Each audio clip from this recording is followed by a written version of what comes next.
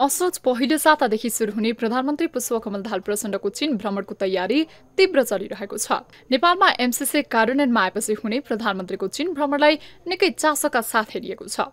MCC कार्यान्वयन र नेपालमा पछिल्लो समय बढ्दै गएको अमेरिकी प्रभावलाई नजिकबाट निहालिरहेको चीनका लागि प्रधानमन्त्रीको उक्त भ्रमणले कस्तो अर्थ राख्ला? कौतूहलता पनि उत्तिकै छ। यता प्रधानमन्त्रीको भ्रमण अगावै प्रमुख प्रतिपक्षी दल नेकपा एमालेका महासचिव शङ्कर पोखरेल नेतृत्वको एक्काइस सदस्यीय टोली चीन भ्रमणमा जाँदैछ। पोखरेल नेतृत्वको टोली शनिबार चीनको बेजिङ प्रस्थान गर्ने र तेह्र दिन लामो भ्रमण सकेर भदौ तीस गते स्वदेश फर्किने कार्यतालिका छ। प्रधानमन्त्रीको भ्रमण अगावै चीनले एमाले नेताहरूलाई निम्तो दिनुले भने यति बेला राजनैतिक वृद्धमा तरङ्ग पैदा गरिदिएको छ।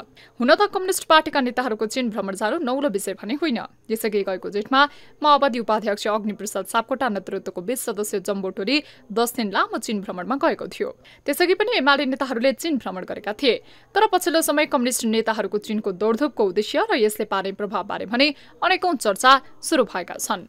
नेपालका अधिकांश कम्युनिष्ट शक्तिहरू एमसिसीको विरोधमा छन्। अझ नेत्र विक्रम चन्द विप्लव नेतृत्वको नेपाल कम्युनिष्ट पार्टी नेकपा मोहन वैद्य किरण नेतृत्वको क्रान्तिकारी कम्युनिष्ट पार्टी नेपाल लगायतका केही साना दलहरू त आन्दोलनका कार्यक्रम घोषणा गरेरै सडकमा उत्रिएका छन्। सहयोग होइन पचास अरबको भिख देखाएर हामीलाई हाम्रो कहिल्यै पनि प्राधीन नभएको सम्पूर्ण रूपले प्राधीन नभएको देशलाई एक्काइसौँ शताब्दीको उपनिवेश बनाउने उद्देश्यका साथ जसरी एमसिसीले सम्पूर्ण यहाँ कानुनहरू मिल्दै नेपाल सरकारको अधिकार क्षेत्र मिच्दै अन्तर्राष्ट्रिय मूल्य मान्यताहरू मिच्दै यहाँका सम्पूर्ण जनताको सार्वभौमतालाई मिच्दै अगाडि आइरहेको छ यो गम्भीर विषय हो.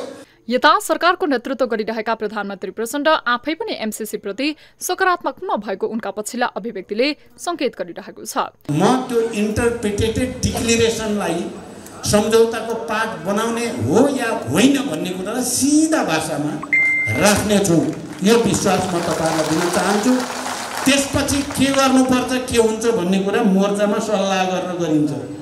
यो कुरा पनि म प्रश्न भन्न चाहन्छु। जहिले पनि चीन नेपालमा कम्युनिस्ट शक्तिहरूको ध्रुवीकरण चाहन्छ तत्कालीन नेकपा कालमा पनि पार्टी फुट्न नदिन चीनले निकै कसरत गरेको चर्चा चलेको थियो।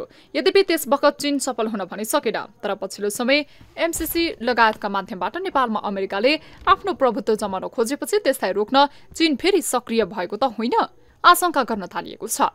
न्युज ट्वेन्टी फोर टेलिभिजनका लागि टिभी जर्नलिस्ट शीतल रिजालको रिपोर्ट।